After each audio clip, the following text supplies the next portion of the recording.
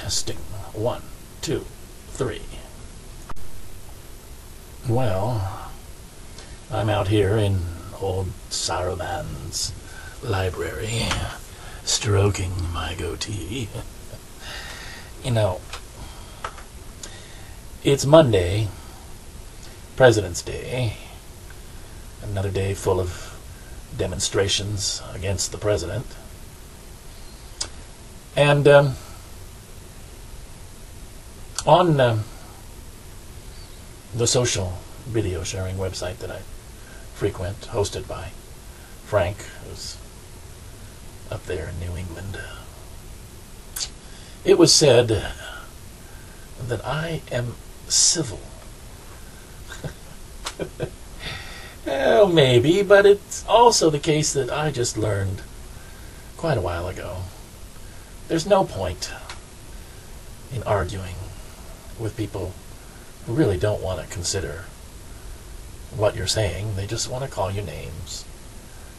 And uh, I have learned not to throw my pearls in front of swine because they will just trample them into the mud and then turn and try and cut me open. Well, I have had my share of angry words that came right out of this mouth or typed from these fingers with members that I don't agree with and who constantly use the most vulgar and obscene language in addition to insulting anyone who doesn't agree with them. I yeah, just don't. Oh, look, the refrigerator turned on. I'm out in the garage. We're going to have to get rid of that refrigerator. It's hardly ever use it anymore. Just sucks power. And the freezer, too. But my mom keeps saying, no, we got to have it for when the people come over and put things well.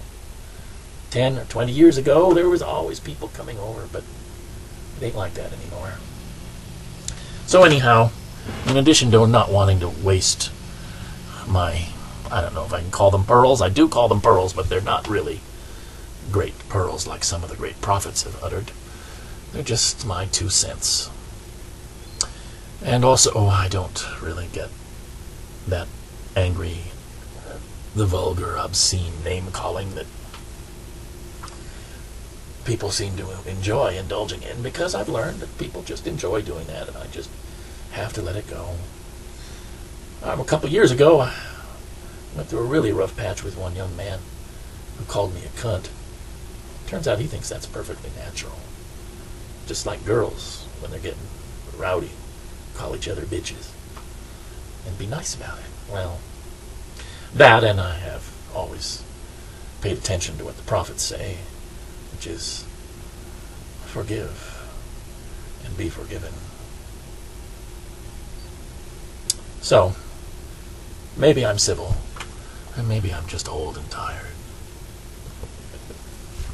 it is definitely too long of a video, but thanks for checking me out, my vlogging friends. Thanks for putting up your vlogs so I can hear what you have to say. Bye.